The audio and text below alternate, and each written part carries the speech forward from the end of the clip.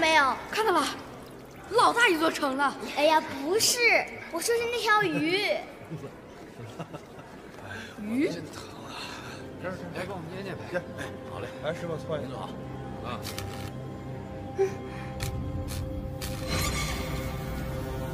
大鱼，大鱼，大鱼，大鱼，大鱼，大鱼，大鱼，大鱼。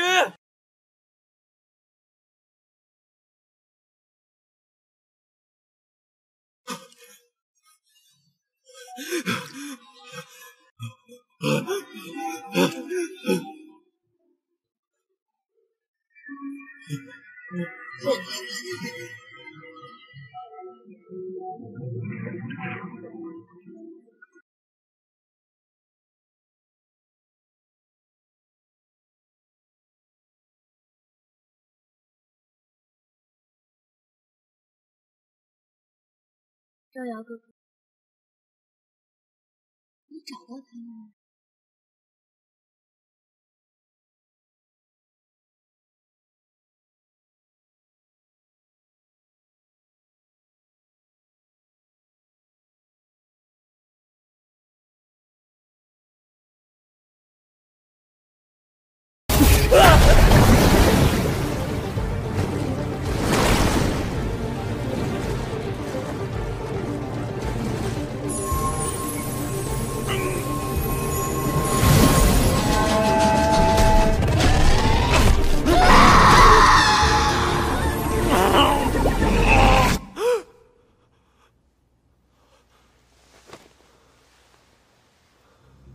还是那个梦啊！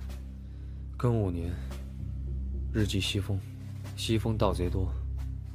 更见大学有妖魔，床朝西，活该我做梦。你总做这个梦，这个梦到底什么意思啊？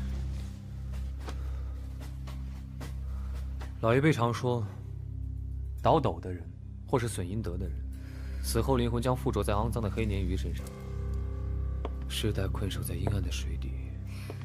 黑鲶鱼啊！难不成你死了以后，也会变成这黑鲶鱼吗？